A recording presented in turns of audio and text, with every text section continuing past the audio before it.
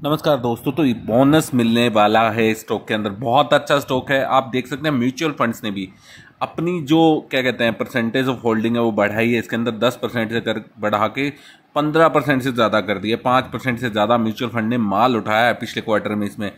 लगता है mutual funds का बहुत जल्दी पता चल जाती है ऐसी बातें। अगर आपके पास भी ये स्टॉक है तो आपकी भी लॉटरी लग सकती है। तारीख भी बताऊँगा स्टॉक भी बताऊँगा।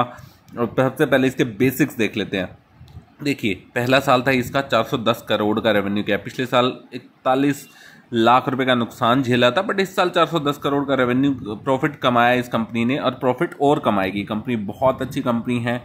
इसका पहले किसी और कंपनी के साथ मर्जर था, वो मर्जर खत्म करके ये कंपनी अलग से आई है और बहुत अच्छा परफॉर्म कर रही है। चैनल पर नहीं हो तो सब्सक्राइब वाला बटन और प्लीज़ बेल आइकन दबाना मत भूलिएगा और वीडियो को लाइक ज़रूर करिएगा अगर आपके लिए यूज़फुल होती है और आपको वीडियो पसंद आती है तो ही लाइक कीजिएगा दोस्तों, वरना मत कीजिएगा।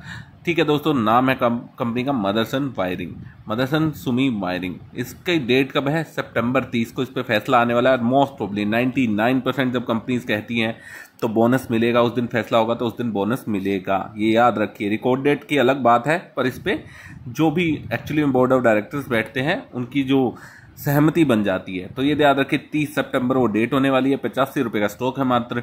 अच्छा खासा प्रॉफिट कमा सकता है, ये आपको अगर बोनस दे देता है one ratio two two ratio one जिस भी रेशियो में देता है मोस्ट प्रॉब्ली एक शेयर के बदले में दो शेयर देगा आपको। तो याद रखिए, नज़र बनाए रखिए, तीस सितंबर का दिन अपनी नोटबुक में नोट कर लीजिए और वीडियो पसंद आए तो लाइक कीजिए।